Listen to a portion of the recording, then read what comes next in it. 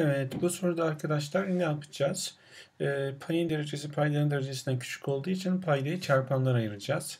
Yani şöyle yazarsak x kare eksi 2x eksi 3'ü çarpanlara ayıracağız. Nasıl ayırabiliriz? E, iki sayı düşünelim. Bunların çarpımı eksi 3 olsun, toplamı eksi 2 olsun. Bu nedir arkadaşlar? Eksi 3 çarpı artı 1'dir. Dolayısıyla x eksi 3 çarpı x artı 1 diyebiliriz. Bundan sonra arkadaşlar e, integre direkt yazmayalım. Bundan sonra ne olacak? 1 bölü 1 bölü düzeltiyorum. 1 bölü x kare eksi 2x eksi 3 eşittir. Buraya dikkat edelim arkadaşlar. x eksi 3'ü buraya yazıyoruz. x artı 1'i buraya yazıyoruz. Paydamız birinci derecenin olduğu için sıfırıncı dereceden yani A. Paydamız birinci derece yani sıfırıncıdan B yapıyoruz.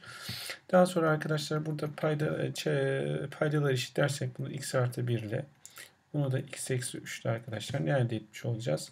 A çarpı x eksi 3 artı B çarpı x artı 1 eşittir 1. Paydalar ortak olacağı için x eksi 3 çarpı x artı 1 eşittir x kare eksi 2 x eksi 3 olacağından dolayı paydaları pas geçtim.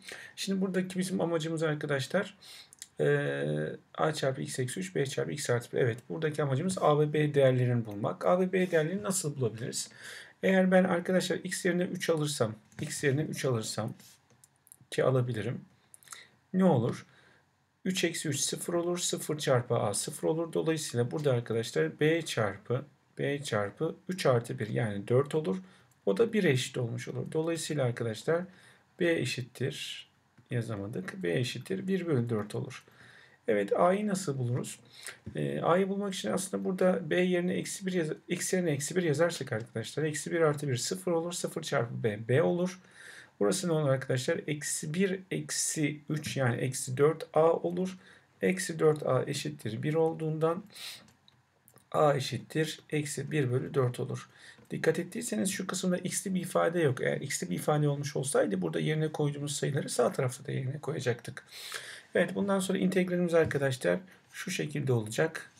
dx yazacağız, dx yazacağız. Yani a yerine eksi 1 bölü 4 yazıyorum. Eksi 1 bölü 4 x eksi 3 dx artı b yerine 1 bölü 4 bölü x artı 1 dx Dolayısıyla bunlar sabit sayı olduğu için dışarıya alabiliriz. Eksi 1 bölü 4 çarpı integral 1 bölü x eksi 3 dx artı 1 bölü 4 çarpı integral 1 bölü x artı 1 dx.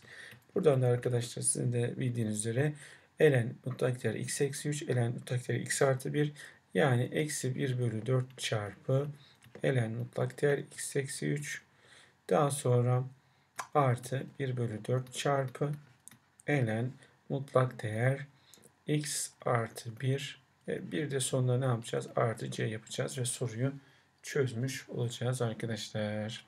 Evet.